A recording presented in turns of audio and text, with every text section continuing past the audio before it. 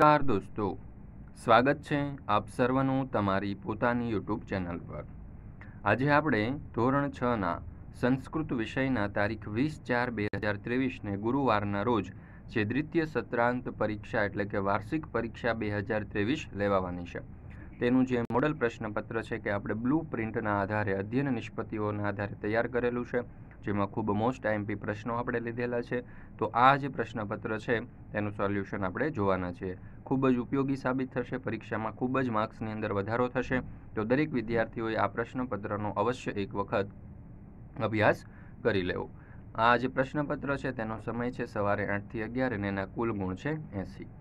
પ્રશ્ન નંબર એક, નીચે આપેલા વાક્યોનું સુંદર અક્ષરે અનુલેખન કરો, જેના કુલ દસ માર્ક્સ છે. તો અહીંયા તમે જોઈ શકો છો કે આપણને પાંચ વાક્યો આપેલા છે. પાંચે પાંચ વાક્યો આપણે ઉપરથી જોઈ અને નીચે સુંદર અને સ્વચ્છ અક્ષરે લખવાના છે. તો જોઈએ આપણે વાક્ય. પહેલું વાક્ય. ગજહ શનેહ શનેહ ચલતી. બીજું વયમ સર્વે મિલિત્વા ખેલામહ અહમ પ્રાર્થના મંદિરમ ગચ્છામિ.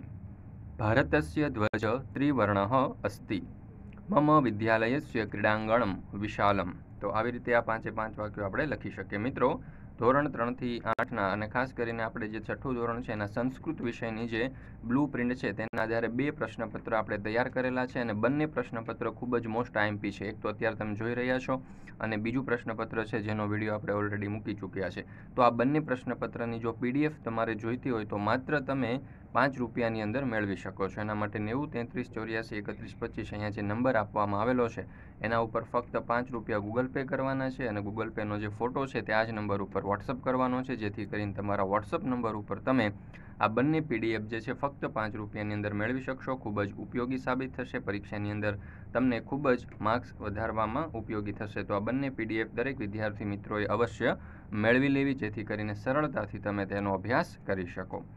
પ્રશ્ન નંબર બે અ કાઉન્સમાં આપેલા વિકલ્પોમાંથી યોગ્ય વિકલ્પ પસંદ કરી પ્રશ્નોના જવાબ લખો, જેના કુલ દસ માર્ક્સ છે. પહેલો સવાલ કિશોરહ કિમ ખાદતી? તો જવાબ આવશે કિશોરહ ફલમ ખાદતી. ત્યાર પછી બીજું, શ્રેયા કુત્ર પઠતી? તો જવાબ આવશે, શ્રેયા પુસ્તકાલયે પઠતી. ત્યાર પછી ત્રીજું, કહ વર્ષાકાલે નૃત્યતી? તો જવાબ આવશે મયુરહ વર્ષાકાલે નૃત્યતી. ચાલો ત્યાર પછી આપણે ચોથો સવાલ જોઈએ. ભારત દેશસ્ય ઉત્તરે કિમ અસ્તિ? તો જવાબ આવશે, ભારત દેશસ્ય ઉત્તરે હિમાલય અસ્તિ. ત્યાર પછી પાંચમો, ભવાન કિમ ગાયતી? તો જવાબ આવશે, ભવાન ગીતમ ગાયતી. ત્યાર પછી છઠ્ઠું, ભગવાન શંકર કુત્ર નિવસતી? તો જવાબ આવશે, ભગવાન શંકર હિમાલયે નિવસતી. અને સાતમો સવાલ છે, કહ ત્રિનેત્રધારી અસ્તિ? તો જવાબ આવશે, મહેશ ત્રિનેત્રધારી અસ્તિ. ચાલો ત્યાર પછી આપણે આઠમો સવાલ જોઈએ. તો અહીં આપણને આપેલું છે, ભારત દેશસ્ય ધ્વજ કીદર્શ અસ્તિ. તો જવાબ આવશે, ભારત દેશસ્ય ધ્વજ ત્રિવર્ણ અસ્તિ. ત્યાર પછી નવમો સવાલ કહ છાયામ દદાતી? તો જવાબ આવશે, વૃક્ષ છાયામ દદાતી. ત્યાર પછી દસમો સવાલ, કસ્ય પુચ્છમ અતીવ સુંદરમ અસ્તિ? તો જવાબ આવશે, મયુરસ્ય પુચ્છમ અતીવ સુંદરમ અસ્તિ. ચાલો ત્યાર પછી આપણે પ્રશ્ન નંબર બે, બ જોઈએ. અહીં આપણને કહ્યું છે કે નીચે આપેલાના સંસ્કૃતના જવાબ લખો, જેના કુલ દસ માર્ક્સ છે. એમાં પહેલો સવાલ, સુકેશ જલાશયે કિમ કરોતી? તો જવાબ આવશે, સુકેશ જલાશયે સ્નાનમ કરોતી. તો મિત્રો, આ બધા જ પ્રશ્નો જે છે તે ખૂબ મોસ્ટ આઈએમપી છે. આ વિડીયોને અંત સુધી જોજો, જેથી કરીને તમારો પરીક્ષામાં એક પણ માર્ક્સ કપાઈ શકે નહીં. અને સાથે સાથે યાદ પણ રાખતા જજો. બીજો સવાલ, સરિતા કુત્ર ભોજનમ કરોતી? તો જવાબ આવશે, સરિતા ભોજનાલયે ભોજનમ કરોતી. ત્રીજો સવાલ, કહ ગંગા ધારયતી? તો જવાબ આવશે, મહેશ ગંગા ધારયતી.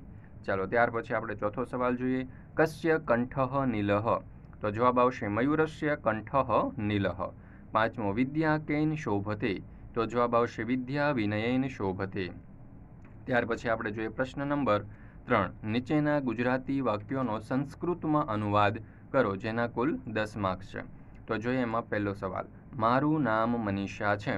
તો જવાબ આવશે, મમ નામ મનીષા અસ્તિ. ત્યાર પછી બીજું, હું ગુજરાતમાં રહું છું. તો અહીંયા જવાબ આવશે, અહમ ગુર્જર રાજ્ય વસામી. ત્યાર પછી ત્રીજું, અમે મંદિરે જઈએ છીએ. તો સંસ્કૃત થશે, વયમ મંદિરમ ગચ્છામહ. ચાલો, ત્યાર પછી આપણે ચોથું વાક્ય જોઈએ. અહીંયા આપણને આપ્યું છે કે શિવ ગંગાને ધારણ કરે છે. તો જવાબ આવશે, શિવ ગંગામ ધારયતી. પાંચમું, પુસ્તક જ્ઞાન આપે છે. તો સંસ્કૃત થશે, પુસ્તકમ જ્ઞાનમ યચ્છતિ અથવા તો દદાતી વા. ચાલો ત્યાર પછી પ્રશ્ન નંબર ચાર અ. અહીંયા આપણને કહ્યું છે કે નીચે આપેલું ચિત્ર ઓળખી તેનું નામ સંસ્કૃતમાં લખો. તો અહીંયા તમે જોઈ શકો છો કે આપણને અંગોના, અવયવોના, આ ચિત્ર આપેલા છે અને એ અવયવ જે છે તેમના નામ આપણે અહીંયા લખવાના છે સંસ્કૃતની અંદર. તો પહેલું ચિત્ર જે છે, તમે જોઈ શકો છો કે મુખનું છે. તો અહીંયા આપણે લખીશું મુખમ. બીજું ચિત્ર દાંતનું છે, તો લખીશું દંતાહ. ત્રીજું હોઠનું છે, તો લખીશું ઔષ્ઠ ત્યાર પછીનું જે ચિત્ર છે, તે કાનનું છે, તો એનું સંસ્કૃત થશે કર્ણહ. અને ત્યાર પછી આંખનું ચિત્ર છે, તો અહીંયા જવાબ આવશે નેત્રમ. ચાલો, ત્યાર પછી પ્રશ્ન નંબર ચાર, બ. અહીંયા આપણને કહ્યું છે કે નીચે આપેલું ચિત્ર ઓળખી ચિત્રની ક્રિયાનું નામ સંસ્કૃતમાં લખો. ચાલો, તો અહીંયા તમે જોઈ શકો છો કે આ જે બાળક છે, તે ક્ષિપતિ, એટલે કે અહીંયા જે ક્રિયા થઈ રહી છે, તે ક્ષિપતિ. ત્યાર પછી બીજું જે ચિત્ર છે તેની અંદર તે સાંભળી રહ્યો છે તો અહીંયા જવાબ આવશે ક્ષુણોતી. ત્યાર પછી ત્રીજા ચિત્રમાં આ જે બાળિકા છે તે ગાઈ રહી છે તો ગાયતી. ત્યાર પછી આ બાળક વાંચી રહ્યો છે તો ભણી રહ્યો છે તો પઠતી. અને આ બાળક રમી રહ્યો છે તો ખેલતી. આવી રીતે આપણે ક્રિયાઓ લખી શકીએ. ચાલો ત્યાર પછી પ્રશ્ન નંબર પાંચ અ. આપેલા ઉદાહરણ અનુસાર શબ્દ રચના કરી અને વાક્ય પૂર્ણ કરો. તો જો અહમ ખાલી જગ્યા અહીંયા લીખ આપેલું છે તો લિખામી. એવી રીતે અહમ ખાલી જગ્યા પશ્ય છે તો પશ્યામી, અહમ ખાલી જગ્યા પઠ છે તો પઠામી, અહમ ખાલી જગ્યા સ્મર છે તો સ્મરામી, અહમ પીબામી, અહમ ચલામી. તો આવી રીતે આ જે પ્રશ્ન છે તેના ઉત્તરો આપણે લખી શકીએ. ચાલો, ત્યાર પછી પ્રશ્ન નંબર પાંચ, બ, આપેલા ઉદાહરણ અનુસાર પદોની રચના કરો. હસ્ત તો હસ્તસ્ય, કંઠ તો કંઠસ્ય, મસ્તકમ તો મસ્તકસ્ય, મંદિરમ તો મંદિરસ્ય, મયુર તો મયુરસ્ય વિદ્યાલય હતો વિદ્યાલયસ્ય. ચાલો ત્યાર પછી પ્રશ્ન નંબર પાંચ ક. નીચેના વાક્યોમાં રેખાંકિત પદના સ્થાને કાઉન્સના શબ્દનો ઉપયોગ કરી વાક્ય બનાવો, જેના કુલ પાંચ માર્ક્સ છે. તો જો અહીંયા શું આપ્યું છે આપણને કે અહમ જલમ પીવામી તો અહીંયા જે અહમ શબ્દ છે ને તેને દૂર કરવાનો છે ને ત્યાં આપણે મીના મૂકવાનો છે. બરાબર છે? તો વાક્યની અંદર પણ જો કોઈ ફેરફાર થતો હોય તો એ સાથે આપણે કરીશું. તો જુઓ. મીના જલમ હવે અહીંયા પીબામી છે ને તો અહીંયા આવશે પીબતી. તો મીના જલમ પીબતી. ત્યાર પછી બીજું અહમ પુસ્તકમ પઠામી. તો અહીંયા અહમની જગ્યાએ આપણે ધર્મહ મૂકીશું. અને ધર્મહ મૂકીશું તો અહીંયા પઠામીની જગ્યાએ થઈ જશે પઠતી. તો જો ધર્મહ પુસ્તકમ પઠતી. ત્યાર પછી ત્રીજું અહમ ફલમ ખાદતી. તો અહમની જગ્યાએ આપણે રેશમા મૂકીશું તો ખાદતીની જગ્યાએ અહીંયા ખાદતી છે. તો અહીંયા થઈ જશે ખાદતી. એટલે કે રેશમા ફલમ ખાદતી. ચાલો, ત્યાર પછી જોઈએ ચોથું અહમ ઉદ્યાનમ ગચ્છતી. તો ભાર્ગવ ઉદ્યાનમ ગચ્છતી, ત્યાર પછી અહમ ભોજનમ ખાદામી, તો અદિતિ. અહીં મૂકવાનું છે અહમની જગ્યાએ, તો અદિતિ હિ ભોજનમ ખાદતી. ચાલો, ત્યાર પછી જોઈએ પ્રશ્ન નંબર પાંચ. ડ, ઉદાહરણ પ્રમાણે કુત્ર વડે પ્રશ્ન પૂછી અને વાક્ય બનાવો. તો ઉદાહરણ પણ અહીંયા આપણને આપેલું છે.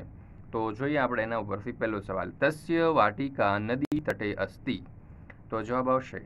ભવત ભવત્યાહ વાટિકા કુત્ર અસ્તિ બરાબર ત્યાર પછી આપણે આગળ જોઈએ રફિકહ ગૃહમ ગચ્છતી તો જવાબ આવશે રફિકહ કુત્ર ગચ્છતી પ્રશ્નાચિહ્ન મૂકવાનું પાછળ ખાસ ભૂલવાનું નથી। ચાલો ત્યાર પછી ત્રીજું મીનાયા માતુલ ગૃહમ સિદ્ધપુર નગરે અસ્તિ। તો જવાબ આવશે મીનાયા માતુલ ગૃહ કુત્ર નગર અસ્તિ, પ્રશ્નાચિહ્ન। ચોથું, હર્ષ ગૃહસ્ય સમીપે ક્રીડતી। તો જવાબ આવશે, હર્ષ કુત્ર ક્રીડતી પ્રશ્નાચિહ્ન. પાંચમું માલા શાલામ ગચ્છતી. તો જવાબ આવશે, માલા કુત્ર ગચ્છતી. મિત્રો, જે તમે સંસ્કૃત વિષયનું પ્રશ્નપત્ર જોઈ રહ્યા છો, બ્લુ પ્રિન્ટ આધારેનું મોડલ પ્રશ્નપત્ર તેવા બે મોડલ પ્રશ્નપત્ર આપણે બનાવેલા છે, જે પરીક્ષા માટે ખૂબ જ મોસ્ટ આઈએમપી પ્રશ્નપત્ર છે. પરીક્ષાની અંદર સારામાં સારા માર્ક્સ તમે પ્રાપ્ત કરી શકશો. તો આ બંને પ્રશ્નપત્ર માત્ર તમે પાંચ રૂપિયાની અંદર મેળવી શકશો. એના માટે અહીં તમને એક નંબર આપવામાં આવેલો છે, નેવું તેત્રીસ ચોર્યાસી એકત્રીસ પચીસ. આ નંબર ઉપર ફક્ત તમારે પાંચ રૂપિયા ગૂગલ પે કરવાના છે અને ગૂગલ પે કરી તેનો ફોટો આ નંબર ઉપર વોટ્સઅપ કરવાનો છે, જેથી કરીને તમારા વોટ્સઅપ નંબર ઉપર તમે આ બંને પીડીએફ છે તે મેળવી શકશો. તો મિત્રો, આ જે વીડિયો છે તે તમારા દોસ્તો અને મિત્રોને પણ શેર કરજો અને આ પીડીએફ પણ અવશ્ય મેળવી લેજો, જેથી કરીને પરીક્ષામાં તમે સારામાં સારા માર્ક્સ પ્રાપ્ત કરી શકો. ચાલો, ત્યાર પછી જોઈએ પ્રશ્ન નંબર છ. નીચે આપેલ સુભાષિત કે પદ્યની પૂર્તિ કરો, જેના કુલ દસ માર્ક્સ છે. તો જોઈએ આપણે અહીંયા આ પંક્તિ જે છે અથવા તો જે કાવ્ય પંક્તિ છે તે. દક્ષિણપાદમ પુરસ્કુરુ દક્ષિણપાદમ કુરુ પૃષ્ઠમ. મંદમ મંદમ ભ્રામયતમ ગોલાકારમ સ્વયં ભ્રમ ચાલો ત્યાર પછી આપણે બીજી પંક્તિ જોઈએ. વામમ પાદમ પુરસ્કુરુ, વામમ પાદમ કુરુ પૃષ્ઠમ, મંદમ મંદમ ભ્રામયતમ ગોલાકારમ સ્વયં ભ્રમ તો આવી રીતે આ જે કાવ્ય પંક્તિઓ છે તે આપણે પૂર્ણ કરી શકીએ. મિત્રો, ફરી મળીશું હવે આપણે આવતા વર્ષે ધોરણ સાતની અંદર. મિત્રો, ધોરણ સાતની અંદરના જે સ્વાધ્યાય પોથી છે, ગાલા સ્વાધ્યાય પોથી છે સ્વઅધ્યયન પોથી છે, દરેક પાઠના સ્વાધ્યાય છે કે સ્વ અધ્યયન પોથી છે, કે ગણિતની પ્રેક્ટિસ વર્ક છે, કે પ્રયોગ પોથી છે, કે તમામ પ્રકારના ધોરણ સાતના જે સોલ્યુશન છે તે આપણી ચેનલ ઉપર મુકાઈ ચૂક્યા છે.